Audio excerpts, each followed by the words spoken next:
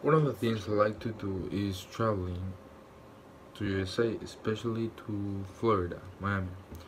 This nice place is attractive for most of the people for the beaches that you can go to them and any time of the year. The sunsets are beautiful and uh, there are a lot of attractions, a lot of things you can do.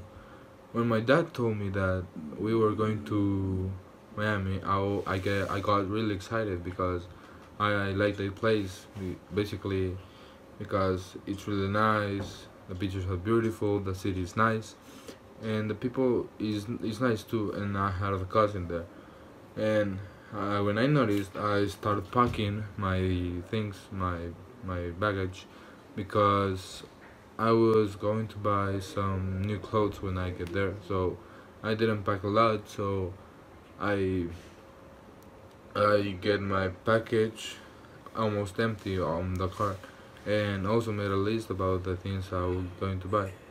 When I got visiting my cousin, I knew his his daughter and his wife. After that, uh, we went bought the PS4 and some games. We went to one to one, and after that, uh, we went to the hotel to test the PS4 to check if there was no errors on the console and anything.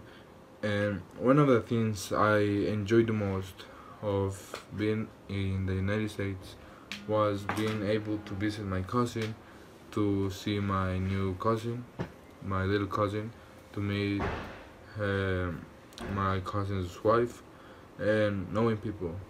Actually I knew some kids in the neighbor of my cousin that were so friendly I made his friends. And one of the things I hated the most was being at the airport because there you got some stress and your parents got stressed so you cannot enjoy that moment.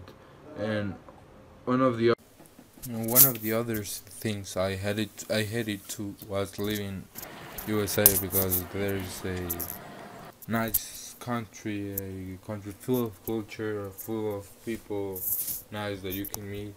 But actually, I had a great time.